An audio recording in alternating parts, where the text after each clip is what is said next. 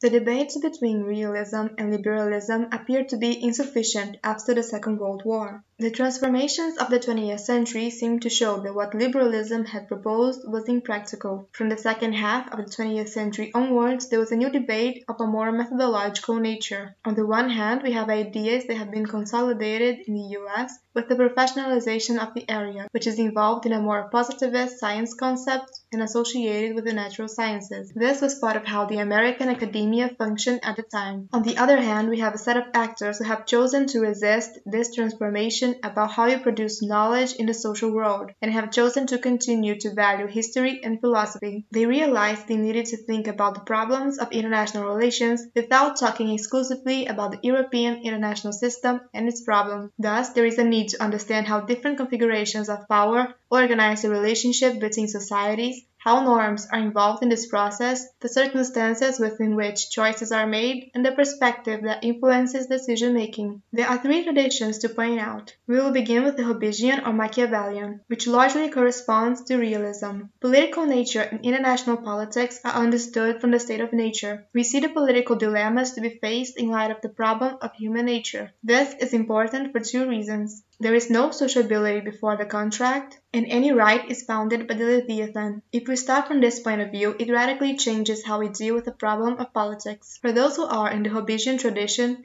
how is the social world structured? What happens when we say that they do not know each other and don't have a rule to regulate our actions and no one knows what to expect from others? We have a condition of dispute and there is war for power, in which nobody can be trusted. If at some point there's a degree of stability, this is not permanent. It is unstable. The state of nature is not a state of permanent violence, but of permanent insecurity. In this, war is always a possibility. Given that this is the universe in which we work, what is the ethics that should guide your decision? It is the idea of the ethics of responsibility. Also, there is great concern about survival. In this scenario, balance of power is necessary to achieve stability. If you want to know more about the ethics of responsibility and about balance of power, check out the last videos about realism, Lockean or Kantian tradition. This tradition is a more moderate version of liberalism. It is based on the idea of natural law. In Kant's thought, we see the idea of humanity's general will. The Grotian section tries to show that Hobbes had a misconception of the state of nature itself. Two elements change the understanding of authors like Locke regarding the state of nature.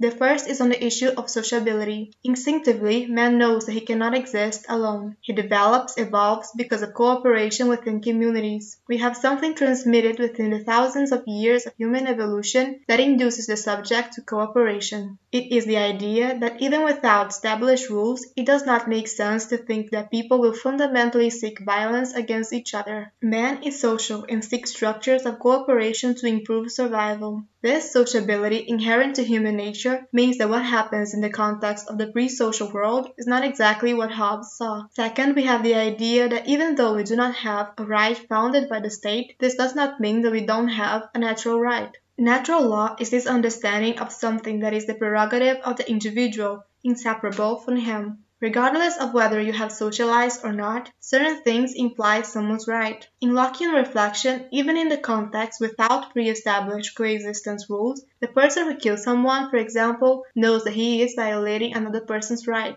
This happens even without something agreed between them. This is something prior to social construction. It is a notion of law that does not depend on the state to elaborate that right constitutionally and put it in writing. For Locke, this is self-evident. For this type of liberalism, we have three orders of law that predate sociability the right to life, to freedom, and to property. You cannot kill someone without knowing that you are violating that person's rights. This is important for two reasons. First, because it inaugurates an idea that did not exist in Hobbes. It inaugurates the idea that there was law before the state. For Hobbes, because there is a state of absolute insecurity, there is nothing stable. So there is a concern about the war. Furthermore, that is why the state is so important to him. It is the state that guarantees the right to life, freedom, and property, and guarantees the conditions for its prosperity. For Hobbes, this is all born with the state. For Locke, these things are prior to any political structure that aims to protect them. You don't build the state to have the right. We generate it to protect the right we already had before. We have an ethics in which preserving a certain lifestyle is as important as preserving the physical and material integrity of the state. Thus, there is value in the investment in keeping commitments for the long term, even if in the short term it doesn't seem practical to do so. The continuity of that culture seems as relevant as the material integrity of the territory. So we have a new norm different from realism. This idea of spontaneous sociability generates the fact that at different times we make different agreements. There are different ethics that regulate the lives of these individuals, and the appropriate mechanisms to give stability to that configuration vary a lot from case to case. For the English school, there are different types of mechanisms to regulate the international system. Even war is an important instrument. You may need to wage war against someone to preserve your commitment to another force for some reason. We do not have a clear mechanism for stabilizing power. We have different mechanisms that, according to the circumstances of the situation, will prove to be the most adequate mechanism for the stabilization of power. Rousseau, Kant. It is another aspect of liberalism. We have a universal idea of humanity prior to sociability. It is an idea of humanity in common. Men are the same and want the same things. Even if political communities do not clearly recognize this, the nature of political conflict is fundamentally the conflict between the general will this interest of humanity and the particular interests of different groups. We have defined a view of moral universalism. It is always ethically superior to preserve the interests of humanity when it is in conflict with the interests of certain groups.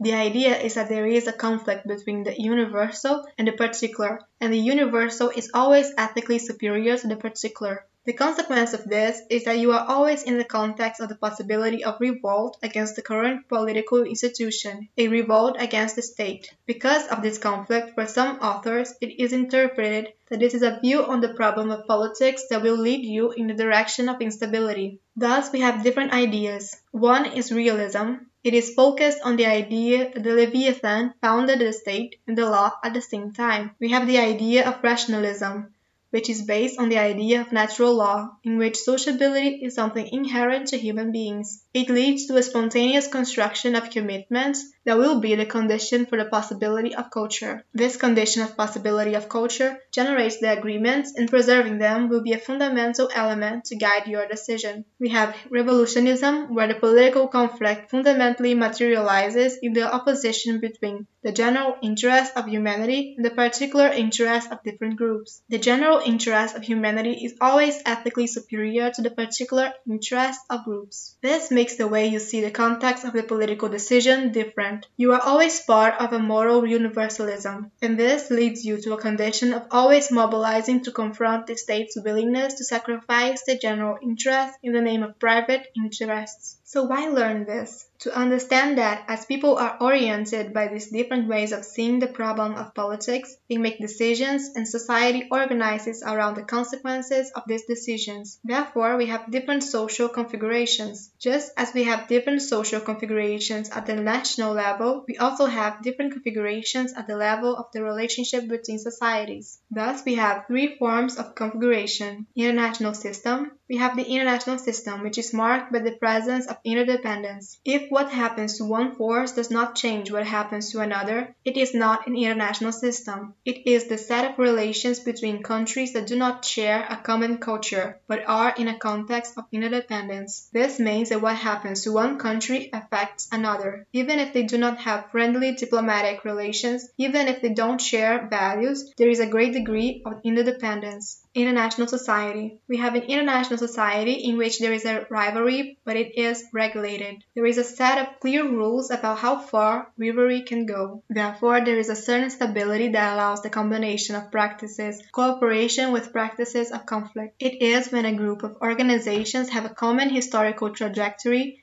and diplomatic ties from previous centuries. We have diplomatic institutions and strong trade networks between countries and empires. Therefore, we have clear orders about what can be done between states. World society. We have the idea of world society, which is a fragile idea, and as far as the authors write, it was never realized in its entirety. But it is a valid principle to move society in a direction where the degree of integration with other societies is such that you are willing to build norms that regulate the relationship between individuals and not the relationship between states within that universe. It is a set of societies that share principles so clear that norms are created to regulate the interaction between the individuals of that society. We have the idea that certain societies can achieve such a high degree of integration that they begin to have strength and create movements that try to build norms aimed at individuals. So what are these three settings used for? The authors seek to show that the role of this concept is to understand reality in a dynamic way, because it will be useful in the analysis of the dynamics of a given society and to be able to see how in that scenario certain groups seek to lead, for example, from a world society point of view, where certain groups are going to try to go in a different direction. If we look at the context of the 70s,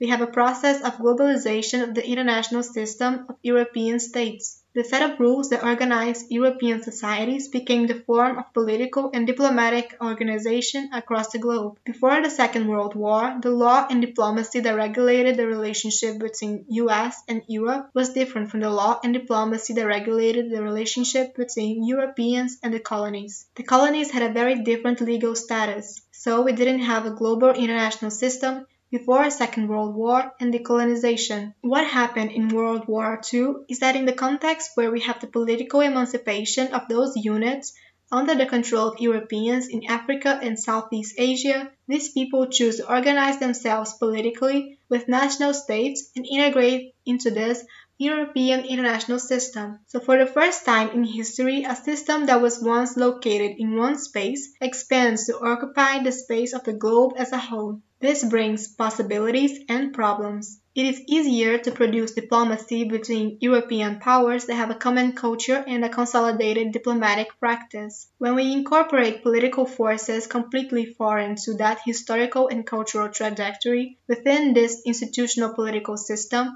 what happens is that the cultural divergence between these countries is very large and this increases the possibility of conflict. The first thing they point out about this configuration is that the transition process needs to be read as a process through which the universalization of the European international system had a clear and established practice, and it is transformed into a system in which we no longer have a certain compatibility among political forces. Therefore, without this common culture capable of building agreements, it makes the relationship between these forces more difficult to regulate. So there is an increasing potential for conflicts, even within institutions. In this, the Third World Movement was born. Hadley Bull calls it revolt against the West. At the turn of the 20th century, European and Western powers expressed a sense of self-assurance both about the durability of their position in international society and its moral purpose. That, however, did not survive the First World War. From that point on, a revolt against Western dominance unfolded in five phases or themes, which Bull identified it as an anti-colonial revolution and the struggle for equal sovereignty, racial equality, economic justice, and cultural liberation. This was brought about by five factors. There was a weakening of the will on the part of the Western powers to maintain their position of dominance or to at least accept the costs necessary to do so. The rise of new powers such as the Soviet Union,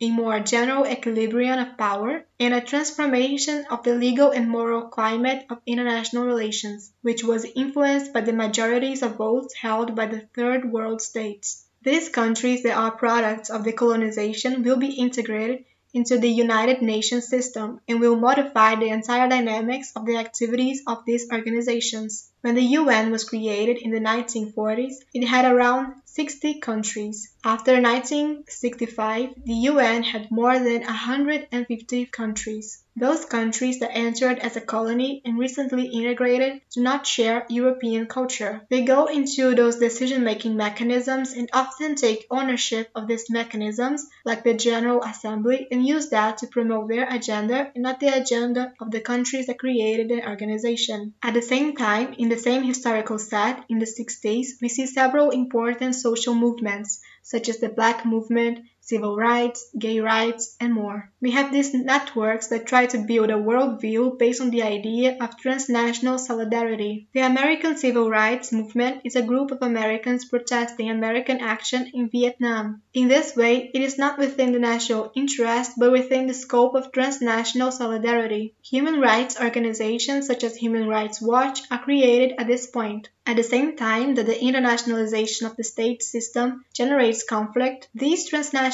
networks seek to create political platforms for solidarity between individuals and not between states. The tension that marks the transition that the international system went through in the 70s is that tension of the conflict between the political forces generated by the expansion of the international system and the bonds of solidarity created by these new transnational forces. In the 90s, there was the end of bipolarity, there was humanitarian interventions, and a new international order we can see a new set of mechanisms being used. On the one hand, there is the euphoria that liberalism is the only effective way of thinking about the political world, thinking about institutions from the point of view of the relationship between liberalism and democracy. And there was the proposal to universalize this model as a political unit, since it was the result for the stability of the international system around the planet. In the 90s, we had a strengthened narrative of humanitarian interventions. They use the idea of democratic peace. There is a pressure for the universalization of a model because they believe that it will allow a degree of solidarity on the globe that will make the world more stable. There is a desire to transform the countries of the world into democratic countries, not only because we want it personally, it is because if there is a democratization of the whole world, communication between different communities will be easier and therefore it will make it more difficult for them to enter into war with each other. So there is the idea of democratic peace. If all the countries in the world were democracies, we would have no war between communities. We have this emphasis on materializing and taking advantage of this new moment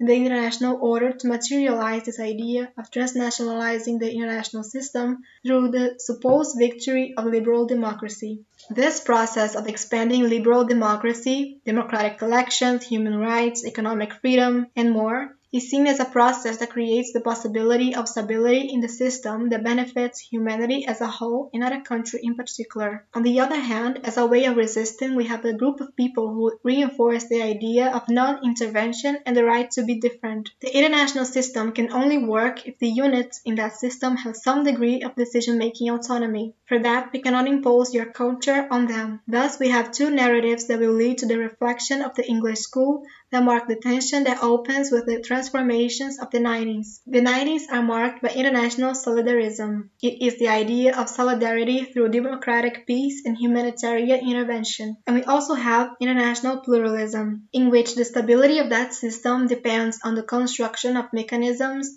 that have sufficient autonomy for political communities to preserve their culture, manage their spaces, have their particularity, and be part of a plural international system. Without this plurality, we do not have an international system, but an imperial system. Thank you for watching.